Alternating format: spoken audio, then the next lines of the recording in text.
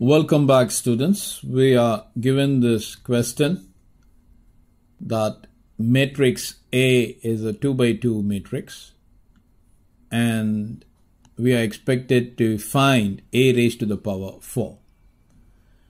Now A raised to the power 4 can be rewritten as A squared multiplied with A squared.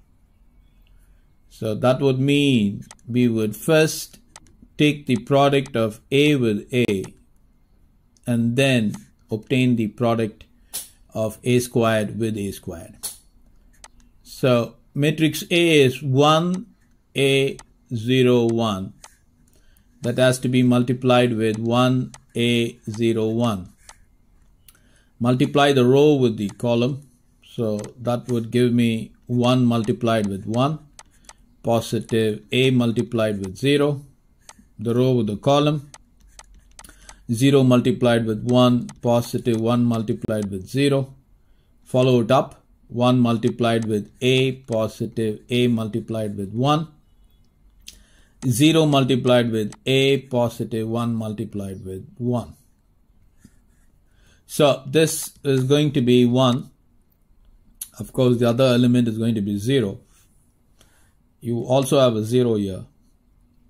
And then you got 2a and then a 1 so this is going to be my a squared.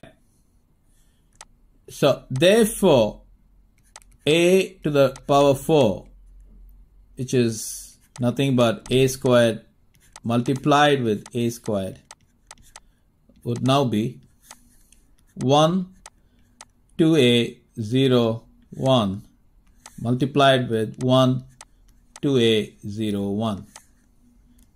So this is going to be row multiplied with a column. So it's going to be 1 multiplied with 1, positive 2a multiplied with 0. Follow the same pattern, 0 multiplied with 1, positive 1 multiplied with 0, and then 1 multiplied with 2a, positive 2a multiplied with 1, 0 multiplied with 2a positive 1 multiplied with 1. So this would give you 1, 0, 4a and is going to be 1. So this is going to be a raised to the power 4. This completes the result. Of course, in the future classes, you would have a formula by which you would be able to calculate a matrix raised to any power.